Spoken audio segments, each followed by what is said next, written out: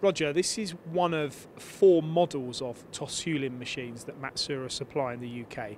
Where does this particular Powerturn model start and finish? Okay, well it starts with an 800 table up to 5 metre diameter. Now, with this type of technology, there is a there is quite a few machines in the market. I'd be interested to know more about why this is successful for Toshulin and for you and Matsuura in the UK. What's it down to? I think it's mainly down to the design and the build quality. Toshulin are looking for performance out of their machines and are also diverse in what the machine can do for them.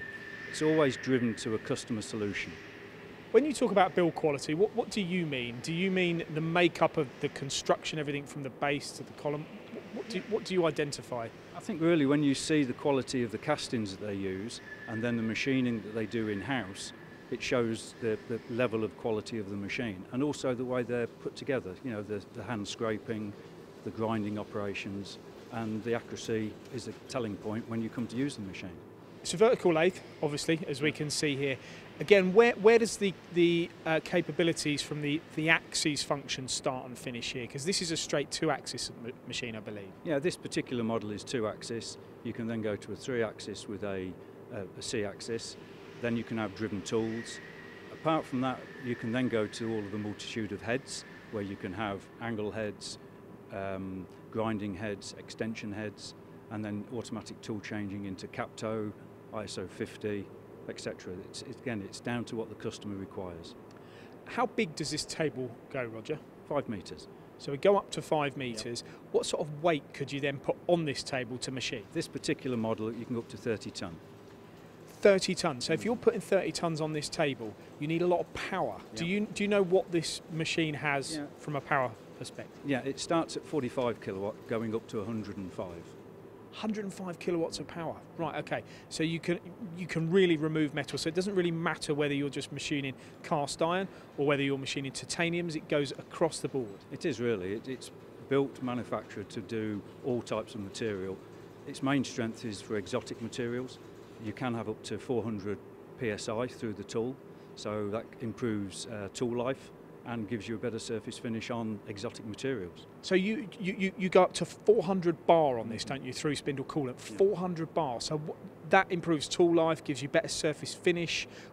Are those the main things? I think so, yeah, because if you're producing, say, an aircraft ring, know, without the high pressure coolant, you're getting two, maybe three minutes of tool life where if you go to 400 you can get in 10 minutes tool life which is a considerable step up in performance. I find that fairly unusual because normally you're talking about 70 bar, 80 bar, maybe 100 bar but to, to have four times that's pretty incredible. You mentioned aircraft parts so would this machine be aimed at the aviation industry, power generation, they're, they're the type of oil and gas, they're the types of things that I'm thinking of. Yeah it is really, it's, it's all of those products where you've got a high value component where you're doing a multitude of operations in one. So it's one setup to do as much operation as possible.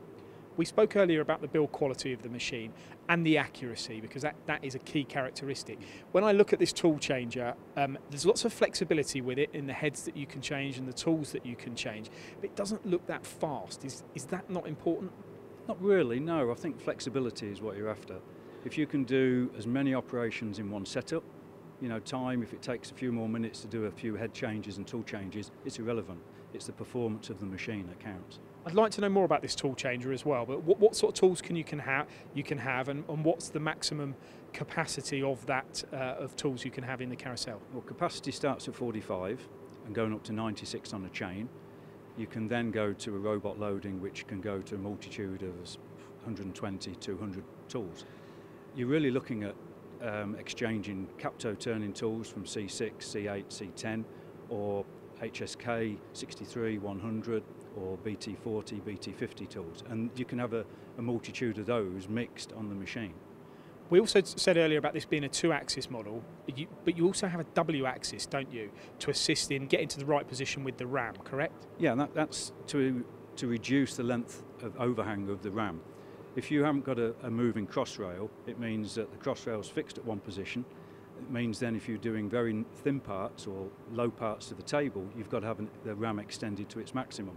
The idea of having a, a W axis is that you can move down in positions of 100 millimetre to reduce the overhang of the ram. So that enables you to get better tool life, better rigidity, and the ram size is from 240 up to 320, and then an option of 400 square. Wow, 400 square RAM. Yeah, up to 400. A lot of people will use 240s to access into smaller bores because if you've got a right angle attachment, you need to have a slightly smaller RAM. But if you need it for just performance, then the 400 square is, is quite a beast. Yeah. Uh, we, we, we said earlier about the through spindle coolant power on this machine.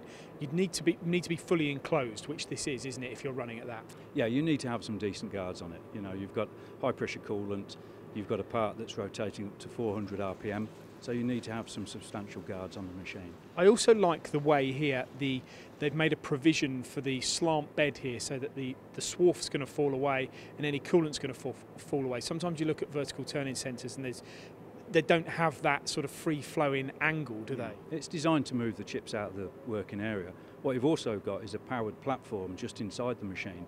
So when you're machining, the platform raises up out of the way to allow the chips to go straight onto the chip conveyor. When you want to get inside the machine for setup or checking, you power down the ramp so you can stand inside the machine safely. You've got paper uh, filtration on this machine as well, don't you, to keep keep the flood of the, the coolant? Yeah, it's necessary if you're using up to 400 bar. You need to have clean coolant, you need it chilled so that it doesn't have any effect on the machine's accuracy.